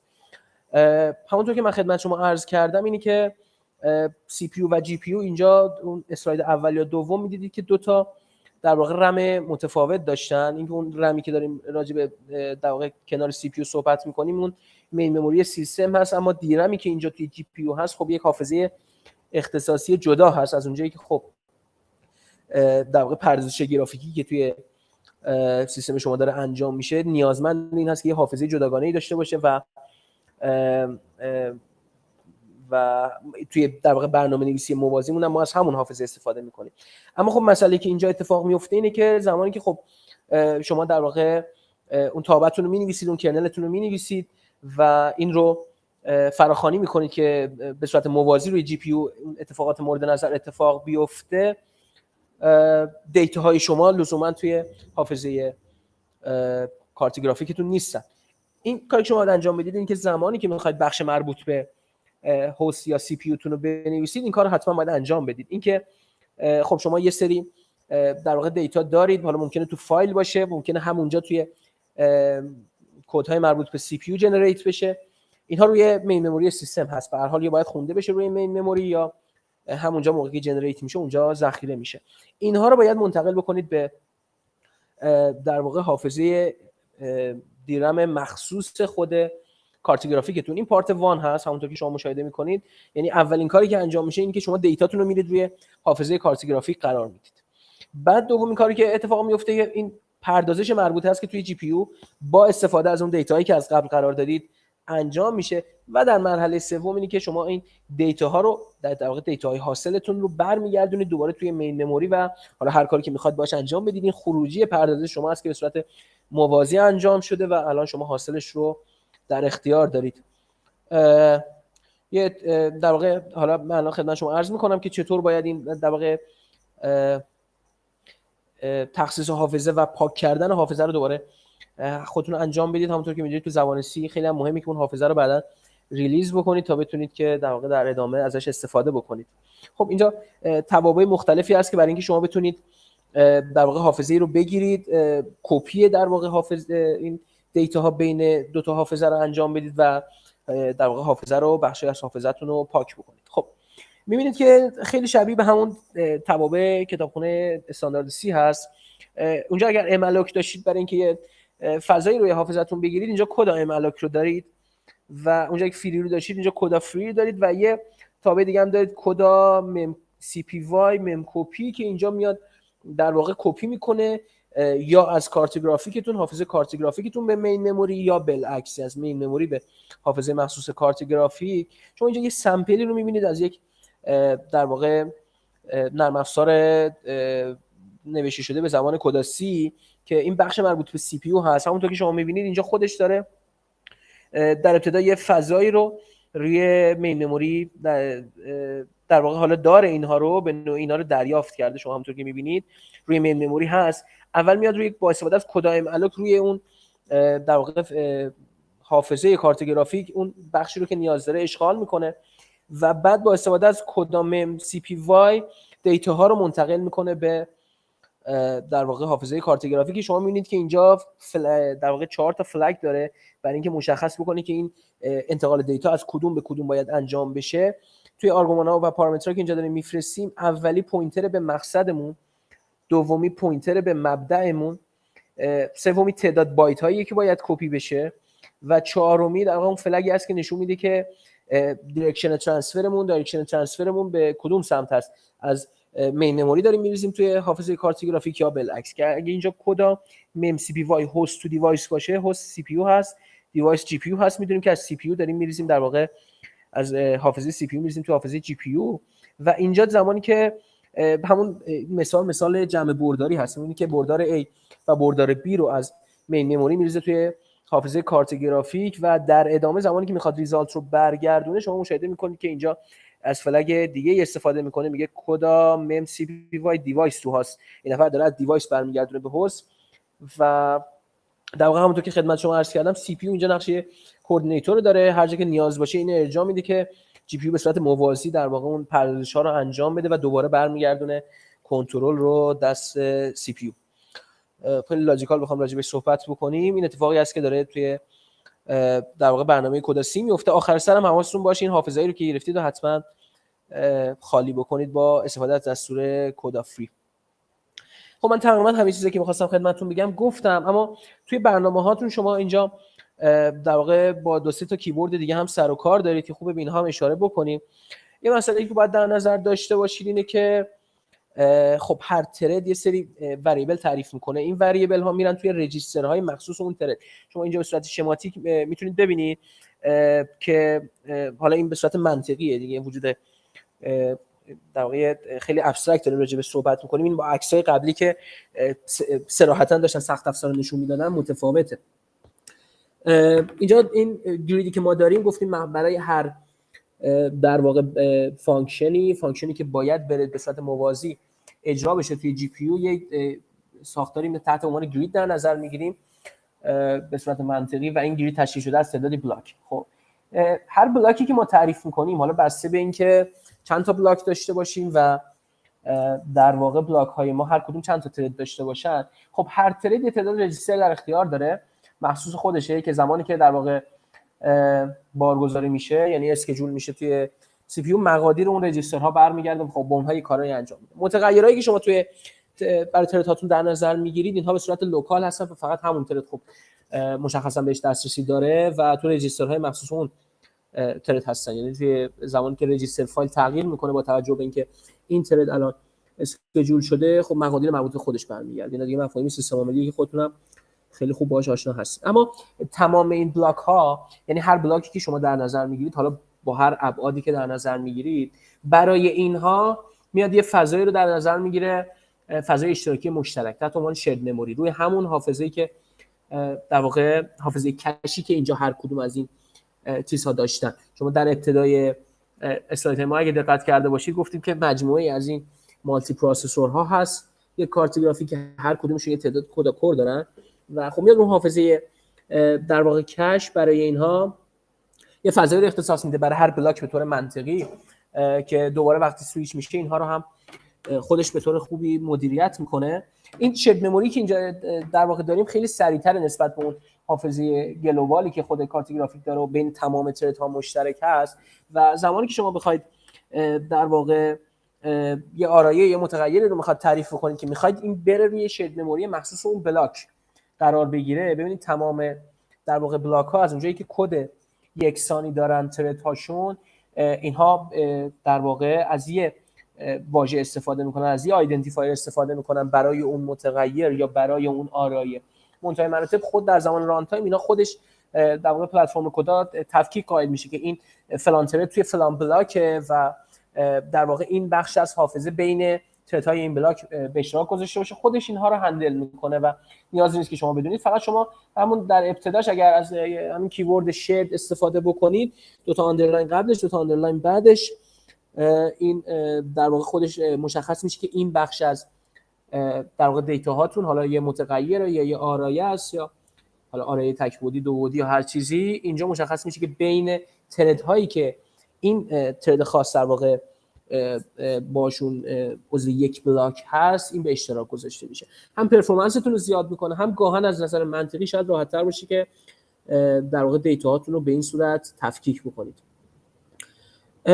یه بحث مهم دیگه بحث synchronization هست. خب ببینید زمانی که در واقع ما می‌خوایم اینجا راجع به synchronization صحبت بکنیم ما با دو تا بحث مختلف مواجه هستیم. یکی CPU synchronization هست یکی GPU synchronization هست.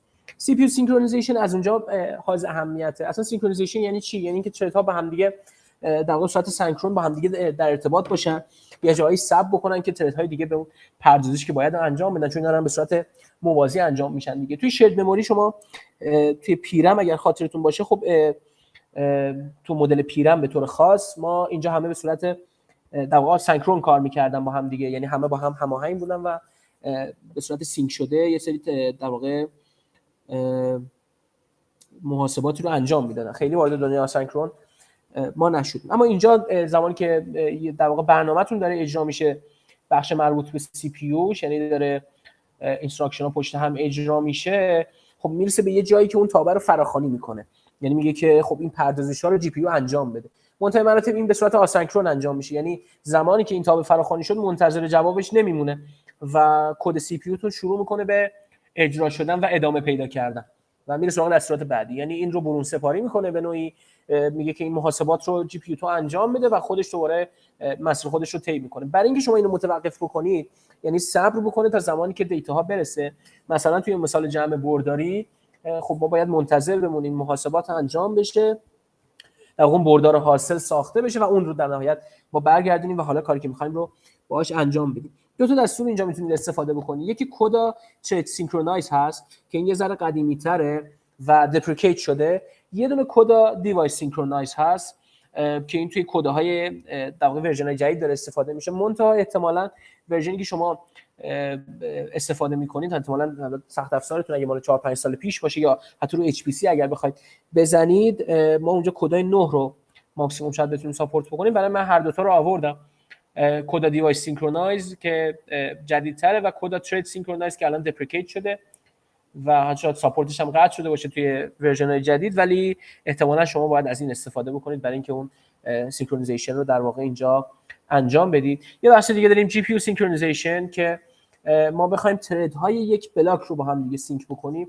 همونطور که من خدمت شما عرض کردم اینها می‌تونن در واقع shared memory یه سری structure های اینجا بین این thread های یک block به اشتراک گذاشته بشه و اینها بتونن در واقع به طور همزمان از این استفاده بکنن. منتها اینجا ممکنه یه race condition ی اتفاق بیفته یا همه اینها لازم باشه منتظر بمونن thread ها تا کار همشون تموم بشه. یه thread ی ممکنه زودتر حالا دفعات بیشتری schedule بشه یا حالا به هر دلیل دیگه زودتر اون پردازش رو انجام بده یه سری ها دیرتر برسن. و شما زمانی که از این double underline sync thread استفاده می‌کنید میگی که تا زمانی که thread های مربوط به اون block تمامشون پردازششون رو انجام ندادن در واقع ادامه پیدا نکنه فرایند اجرای این الگوریتم. منتها خیلی باید حواستون باشه اینو کجا استفاده می‌کنید. تنها زمان قاعدتا باید استفاده کنید که شما یک در واقع data یی رو بین اینها به اشتراک گذاشته باشید یا حالا الگوریتم شما خیلی بطلبه وگرنه استفاده الکی از این sync threads می‌تونه حتی performance برنامه شما رو پایین بیاره چون باید همه اینها همه چیز به صورت سنکرون و هماهنگ اتفاق بیفته و پیش بره و خب این برنامه‌تون رو می‌تونه کند بکنه. اما CPU synchronization خیلی بحث مهمی که شما حتما باید در تمام برنامه‌هاتون رعایت بکنید احتمالا.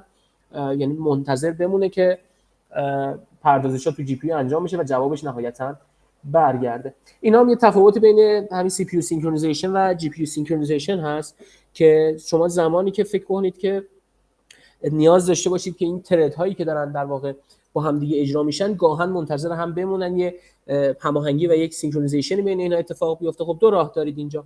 یا CPU synchronization دارید یا GPU synchronization دارید. عموما از همین استفاده میشه. یعنی چون اینا به طور منطقی هم گاهاً از این در واقع structure های رو ما data هایی رو بین اینها به اشتراک می‌ذاریم و می‌خوایم استفاده بکنیم بیشتر از همین GPU استفاده میشه.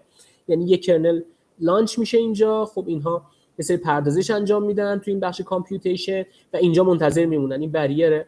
منتظر میمونن تا همه پردازش ها انجام شه. همه که انجام دادن مجدد یه سری کامپیوتیشن اتفاق میفته و مجدد barrier تا زمانی که تمام computation ها انجام میشه و این دوباره برگرده دست هست CPU synchronization به چه صورت هست؟ اینکه یه زمانی هست شما میگی که خب من می‌خوام بین تمام thread هام در واقع یک هماهنگی رو انجام بدم. این خیلی کمتر به کار میاد. یعنی ما معمولا GPU برامون کفایت می‌کنه. اما یه زمانی هست که میگه من بین تمام thread ها می‌خوام یک synchronization اتفاق بیفته. این تا همین version های اخیر CUDA چنین چیزی support نمی‌شد. الان یه دستوری شبیه به همین sync هست که این رو می‌تونه support بکنه. یعنی شما زمانی که یک در واقع grid می‌سازید برای اون اجرای تابع خاص خودتون kernel خاص خودتون می‌تونید بین تمام thread های اون grid حالا عضو هر block ی که باشن می‌تونید یه هماهنگی و یه synchronization رو انجام بدید توی version همین یکی دو سال اخیر چیز اضافه شده CUDA اضافه شده ولی احتمالا اینجا شما شما می‌خواد برنامه نویسی بکنید بهش دسترسی ندارید. پس روش دیگه که دارید به جز GPU synchronization که صرفا بین یه تعداد محدودی شما می‌تونستید در واقع هماهنگی ایجاد بکنید اینها رو با هم دیگه sync بکنید تمام thread ایی که عضو یک block باشن. توی CPU synchronization می‌تونید حالا به صورت manual بدون اون در واقع ساختاری که جدیداً اضافه شده اون توابعی که جدیداً اضافه شده به CUDA شما می‌تونید اینو پیاده بکنید. به چه صورت؟ اینکه بیاد kernel تون رو تیکه تیکه بکنید. یعنی هر بخش از اون در واقع تابعتون که باید به صورت موازی اجرا می‌شد اینو می‌تونید تیکه تیکه بکنید و به تفکیک اینها رو با هم دیگه launch بکنید. شما می‌دونید که زمانی که یک kernel launch میشه و اینجا یه barrier یه دونه CPU barrier می‌ذارید توی host تون هم که اینجا عکسشو نیورده منتظر میمونه تا در واقع تمام محاسبات انجام شه و دوباره کنترل برگرده در CPU. دوباره اینجا می‌تونیم بخش بعدی رو اجرا بکنیم. یعنی مدام kernel های مختلف اینجا اجرا بشه تا تمام محاسباتمون به اتمام برسه و ما در نهایت برگردیم به هست تقریبا دیگه پس نمونده. من خدمت شما بگم یه گذر خیلی کوتاهی به سوال ها داشته باشیم و بعد هم ما از خدمت شما خدافزی بکنیم. یه مثال من اینجا داشتم که این بریرها رو توی خود سوال بود. من اینجا اگر ببینم من به شما نشون بدم که این barrier ها هم کجا استفاده میشه این synchronization. به چه صورت هست؟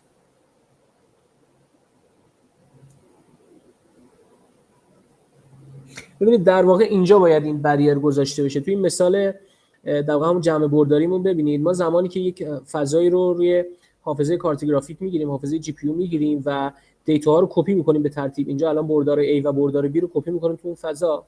و بعد اینجا فراخوانی می‌کنه مثلا تو این یک تیکه kernel invocation code خب اینجا فراخوانی میشه با همون سه تا angular bracket ی که می‌دیدید بعد dim grid بهش می‌داد نمی‌دونم dim block بهش می‌داد و یه سری همینا رو براش میفرستاد. یعنی اینجا dB این چیزای مربوط به device مون هستن این بردارای مربوط به device مون هستن A و B و C هم مربوط به host مون هستن. این A و B و C رو برای اون تابع مخصوص GPU میفرستاد. بلا فاصله بعد این اینجا باید یه barrier قرار بگیره. یه دونه CPU barrier باید قرار بگیره. همون کدی که ما اونجا خدمت شما عرض کردم دو تا بود که گفتم یکیش deprecate شده. همون deprecate شده اتفاقا باید اینجا قرار بگیره توی کدای شما و بعد این منتظر میمونه تا زمانی که اون برگرده چون ذاتش ذات آسنکرونه شما باید اینجا سنکرونش بکنید منتظر میمونه تا اون پردازش انجام میشه برمیگرده اینجا و در نهایت اینجاست که این حالا می‌تونه بره دیتا ها رو از اون حافظه برداره و بیاره توی مین مموری دیتا حاصل رو و اینجا باهاش بتونه کار انجام بده و در نهایت هم باید در واقع این پاکسازی ها اتفاق بیفته. من دیگه راجع به کدا صحبتی ندارم. بچه این اسلاید رو می‌خوام ببندم. سوالا رو بیارم یه توضیح کوتاهی بهتون بدم. اینجا اگر سوالی دارید خواهش می‌کنم که الان بپرسید وگرنه که ما بریم سر وقت سوال ها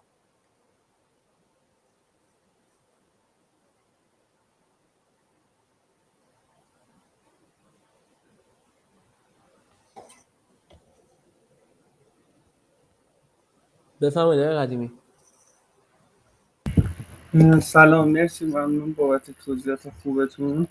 یه سوال و یه نکته هم میگم. الان کل کدایی که ما می‌زنیم رو زبون C ئه و CUDA صرفا به عنوان library استفاده میشه؟ این درست فهمیدم؟ CUDA به نوعی داره C رو extend می‌کنه. یعنی خب شما می‌دونید که دیگه یه کامپایلر مجزایی داره ولی خب آره base و اساسش همون C هست.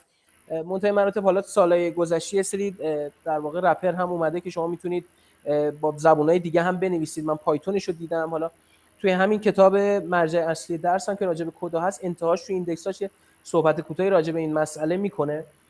یه زبان دیگه که من دیده بودم فکر کنم لیست بود اگه اشتباه نکنم. اونم خود انویدیا ساپورت می‌کرد تا حالا چند سال پیش نمی‌دونم هنوز هست یا نه. ولی آره بیستون اگه روی سی بذارید به نظر من خیلی بهتره. چون هم توسعه دهنده ها بیشتر روی این هستن همین که documentation های بیشتری براش وجود داره.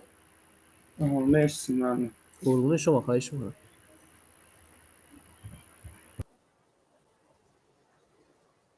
خب بچه سوال دیگه نیستش؟ من برم سر وقت سوال تمرین. فکر کنم همتون دارید ضبط می‌کنید جلسه آخر رو همدمای عید و خب من بودم هم خودم ضبط می‌کردم احتمالا.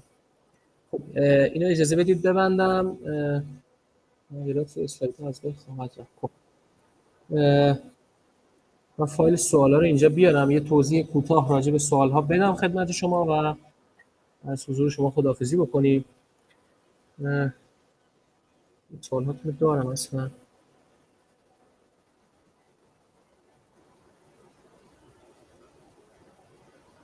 خیلی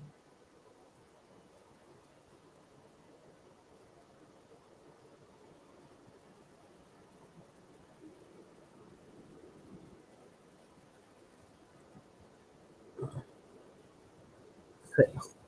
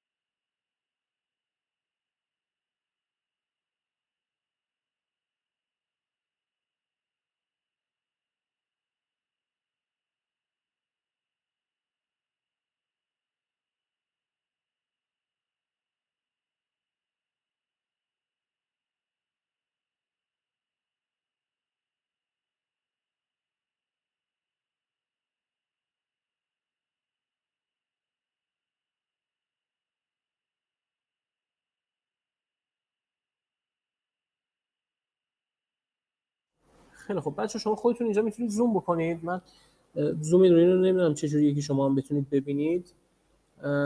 پس خودتون زوم بکنید سوال ها رو دقیق تر ببینید. من اینجا فکر می‌کنم خودم زوم می‌کنم برای شما هم زوم نمیشه. خب توی مثالی که ما اینجا داریم می‌بینید که یه مرتب سازی مرتبه یا رنگ سورت هست. خب اینو باهاش توی درس هم آشنا شدی. یه odd-even transposition داریم که خب جز اولین الگوریتمایی بود که اونجا خوندید. البته اونجا روی یه ساختار fix آرایه‌ای بود. اینجا چیزی که ما باش سر کار داریم اینه که ما خواهیم اینو رو shared memory پیاده بکنیم. خیلی تفاوتی نمی‌کنه. شما فقط فرض بکنید که اینجا همون سوال اجازه بدید بهتون توضیح بدم که راجع به هر سوالم یکم صحبت کرده باشیم یه دونه دیگه سوالم اینجا دارید در واقع بحث prefix sum هست جمع پیشوندی منتهای مراتب. اون الگوریتم جمع پیشوندی که توی کتاب داشتید که اینا می اومدن هی دو برابر می‌کردن در اون ولیوی که داشتن و مثلا از خونه اول هر پردازنده به بعدیش می‌داد بعد به دو تا بعدیش بعد به چهار تا بعدیش. و اون الگوریتم اونجا اومدیم یه بهبودی کوچولویی ما دادیم اینجا. البته خود نسخه ساده ما اینجا ابتدا براتون توضیح دادیم که چه اتفاقی داشت میافتاد یه شکل خیلی خوبم توی کتاب آیدوتو پرهامی هست که می‌تونید اونو ببینید که اصلا اون الگوریتم تو ذهنتون بیاد که چه اتفاقی داره داشت میافتاد. بعد این در واقع بهبودی یافتش که با یه شکل ما اینجا بهتون توضیح دادیم که در واقع اینجا چطور داره این اتفاق میفته همونطور که شما خودتون مشاهده می‌کنید ترس تا سوال شما اینجا روی در واقع آرایه هست و کافی که شما با همون محور ایکسا و فضای تکبودی کار بکنید. از که تمرین اوله ما فقط گفتیم روی یک در واقع فضای تکبودی ما اینجا کار بکنیم. یعنی از نظر در واقع بحث این که این مپ بشه روی مسئله شما و اون ساختار ترت هایی که شما اونجا دارید مپ بشه رو مسئلهتون خیلی اینجا با دشواری مواجه نیستید. خیلی مشکل زان نیست. فقط شما اینجا بتونید منطق در واقع در تمرین اول اینکه شما به صورت موازی بتونید فکر بکنید و منطق اینها رو به صورت موازی در بیارید. حتی برای سوال یک ما شبه کد اینجا برای شما قرار دادیم خب یه توضیح کوچولو راجع به سوال ها بدیم و ما جلسه رو به اتمام برسونیم. ببینید سوال یک هم روشیه که میگه هر پردازنده میاد آرایه رو پیمایش می‌کنه. اینا با همدیگه دارن پیمایه رو در آرایه, آرایه رو پیمایش می‌کنن. و به هر کدوم از اینا که میره سراغشون یعنی شما فکر کنید ما اینجا یه آرایه ای داریم که به تعداد اینها ترد داریم. یعنی به ازای هر خونه آرایه‌مون یه ترد داریم. و خب هر خونه آرایه‌مون یه مقداری داخلشه که این مقدار مقدار مربوط به thread همزاد و متناظر این هست یعنی هر processor فرض کنید حالا processor processor های منطقی هستند دیگه. هر processor ما اینجا اگر در واقع یک مقداری داشته باشه که تو خونه متناظرش تو آرایه نوشته شده باشه اینا چیکار می‌کنن؟ میرن مقدارهای بقیه رو می‌خونن و هر کار در واقع هر بار که عددی پیدا کنن کوچکتر از خودشون یه دونه کانترشون رو اضافه می‌کنن. ما اینجا شبه کدش هم اسخای می‌کنم. آوردیم. که یه کانتری داره و هی به این در واقع اینجا اضافه می‌کنه زمانی که یک مقداری رو ببینه که از خودش اینجا کوچکتر هست. و در نهایت فقط کافیه که بره تو خونه مربوط به خودش بنویسه. یعنی اگر بدونه که مثلا 5 تا مقدار از خودش کوچکتر هست می‌تونه بره تو خونه پنجم آرایه و از از صفر شروع میشه همه چی 5 تا رو رد بکنه تو خونه پنجم در خونه ششم که با index 5 مشخص میشه در واقع مقدار خودش رو بنویسه. این رو خیلی راحت شما می‌تونید توی CUDA C به صورت همین shared memory پیاده بکنید ما اینجا اگر دقت کرده باشید در واقع نگفتیم به شما که چه تعدادی خب عنصر در نظر بگیرید. همه جا از n استفاده کردیم یه متغیر. اول اینکه زمانی که شما می‌خواد تعداد thread اتون رو بگیرید اون best practice هایی که من خدمت شما عرض کردم رو حتما سعی بکنید رعایت بکنید. و در واقع زمانی که می‌خواد تایید بکنید که هر گریدتون و هر بلاکتون به چه صورت باشه هر گرید چند تا بلاک داشته باشه و هر بلاکتون چند تا ترید حالا اینجا تماما روی فضای تکبودی دارید صحبت می‌کنید ولی این مسئله راجع به اینکه تعداد ترت هاتون رو چقدر بگیرید یکم هم وابسته به این است که اون سخت افزار شما دارید به چه صورته. اما اون چیزی که بیشتر دست شما رو میبنده و شما رو محدود می‌کنه که نتونید پردازش خیلی عظیم انجام بدید یه طرف حالا core هاتون هست که خیلی این چیزی نیست که شما بخواید باش درگیر بشید چون خود اون scheduler خود اون runtime environment داره اینها رو handle می‌کنه. هر چقدر تعداد thread شما زیاد باشه حالا خیلی نباید دیگه رویایی فکر بکنید و اجازه این کار به شما نمیده. چرا؟ الان خدمتتون عرض می‌کنم. ولی خب اینکه بتونید مثلا تا چند برابر اون تعداد core هایی که شما اونجا دارید بتونید در واقع دیتا تعریف بکنید و انتظار داشته باشید که حالا بین این سویچ اینها به راحتی و با سرعت کم صورت بگیره و با یه performance خوبی شما در واقع به جواب برسید خب این منطقی است. اما خیلی قبل از اینکه شما بخواید تعداد thread اتون رو زیاد بکنید و خیلی درگیر اینها بشی یه محدودیت دیگه جلو شما رو می‌گیره و اون محدودیت حافظه مربوط به کارت گرافیکتون هست. به این صورت که شما فرض بکنید که حالا دو گیگ 4 گیگ یا یه تعداد محدودی فضای محدودی شما روی کارت گرافیکتون حافظه دارید و ما از شما می‌خوایم که زمانی که حالا بر حسب اون سخت افزاری که شما دارید بر حسب اون کارت گرافیکی که شما دارید در واقع دیتاهاتون رو انقدری در نظر بگیرید. اول اینکه منطق برنامه شما برای ما مهمتره. یعنی شما برنامهتون به طور درست داره کار بکنه و پردازش رو درست انجام بده این خیلی برای ما مهمه. اینکه بتونیم با همون تعداد دیتای کم برنامه شما رو اجرا بکنیم و درست اجرا بشه. این اولویته ولی زمانی که هم که می‌خواید اجرا بکنید شما برید ببینید که با یک بار در واقع کپی کردن دیتاها از main memory به حافظه کارت گرافیکتون شما می‌تونید در واقع چند تا رو با هم دیگه حالا ضرب انجام بدید یا الگوریتم می‌تونید با روی چه دیتایی انجام بدید.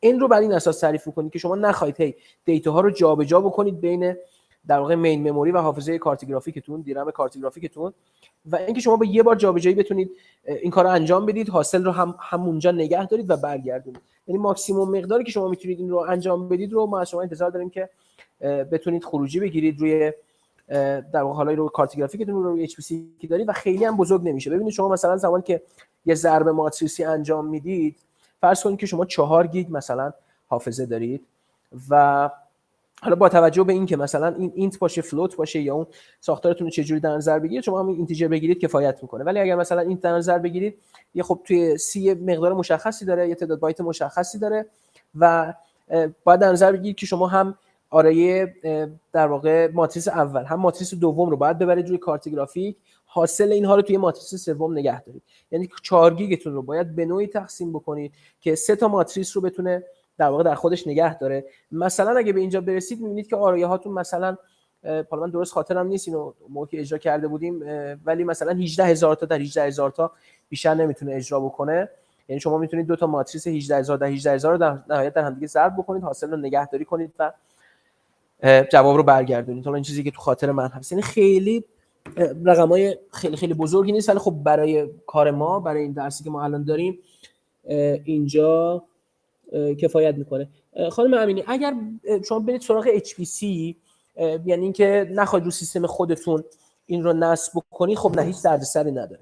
یعنی هیچ ملاحظه خاصی براش نیست. شما فقط من فیلم های در واقع اخیرا حالا دانشجوهای آی دکتر اسدی یه سری فیلم ضبط کردن که روی سایتشون گذاشتم سایت اچ من اینها رو براتون میفرستم که به شما میگه که چطور می‌تونید جابتون رو سابمیت کنید. یعنی کدتون رو می‌نویسید و اینو به عنوان یه جاب توی در واقع صفحه مربوط اون کارت گرافیک شما سابمیت می‌کنید. میره اجرا می‌کنه خروجیشو به شما برمیگردونه در قالب یه فایل به شما تحویل میده.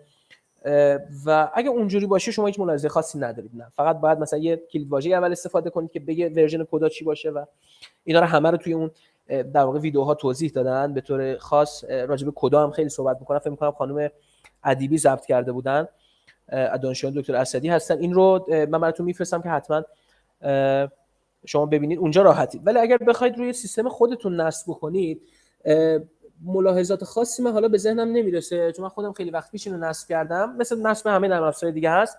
فکر می‌کنم به ویژوال استودیو احتیاج داشته باشید.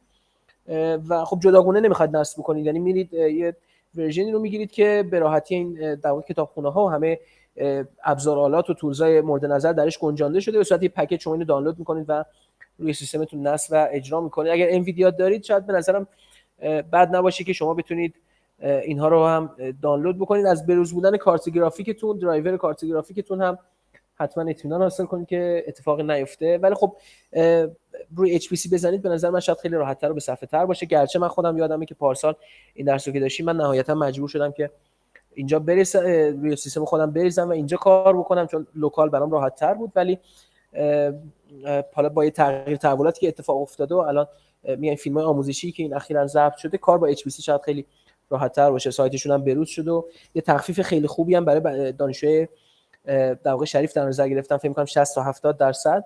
خیلی نباید براتون هزینه داشته باشه ولی ما همچنان داریم صحبت می‌کنیم که اگه بشه این هزینه رو هم شما پرداخت نکنید. حالا نمی‌دونم به تمرین اول برسی یا نه ولی ما هدفمون انشالله اینه که به اون نقطه برسیم. راجع به سال دوم این odd even transposition رو شما همتون با هم دیگه آشنا هستید که توی در واقع راندای فرد اون processor ای فرد و راندای زوج processor ای زوج در واقع پردازش رو انجام می‌دادن. ما اینجا توضیحات کامل براتون نوشتیم که دیگه شما نخواهید بخواید برگردید مرور هم بکنید ولی خب خوبه که کتاب و عکس رو هم مجدد نگاه بکنید. یه چیزی که اینجا فرق داره با اون نسخه کتاب اینه که اونجا میگم دوباره روی یه سیستم fix و اینکه processor ها هر کدوم هم دیگه وصل بودن. اینجا ما داریم روی shared memory کار می‌کنیم. به طور مشترک اینا در واقع همه چیز اینجا abstract شده هست که یه حافظه ای داریم اینجا بین تمام اینها. در واقع DRAM ایه که بین تمام thread ها مشترکه و اینجا می‌خوایم یه در واقع تبادل اطلاعات اینجا انجام بشه تا اون هدف الگوریتم رو بهش برسیم.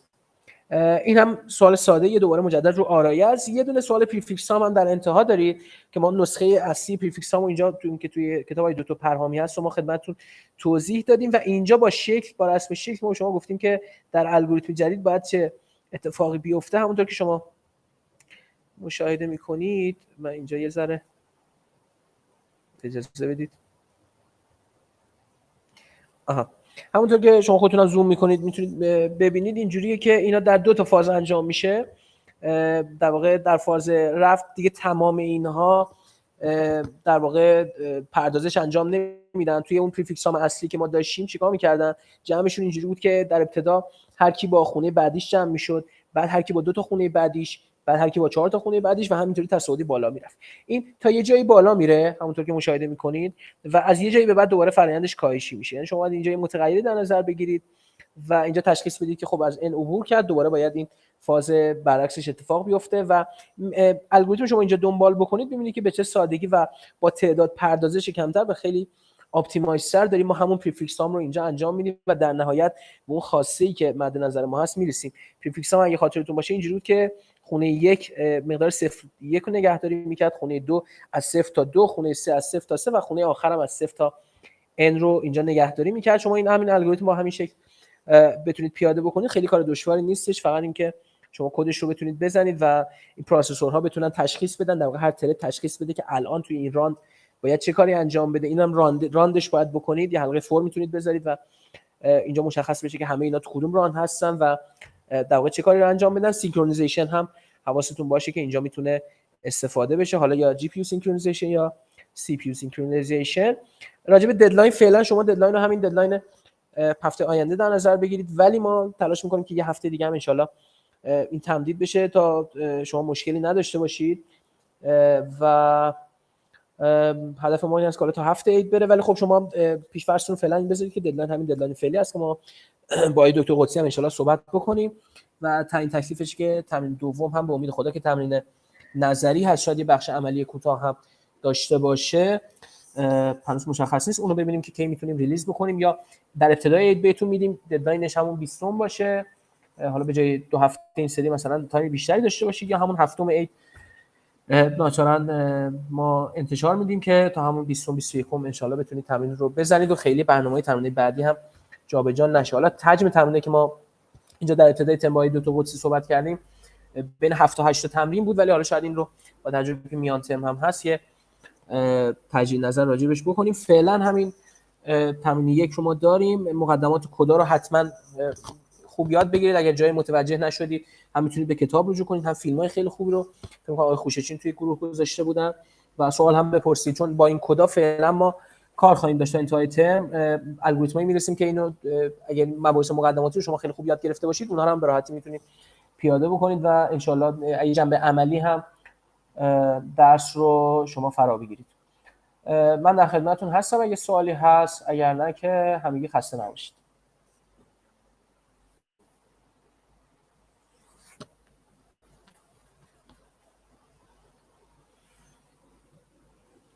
خب فکر کنم سوالی نیستش. دوستان خدا نگهدار. خسته نباشید. سال نوتون هم مبارک باشه. انشالله سال خیلی خوبی پیش رو داشته باشید. خدا نگهدار.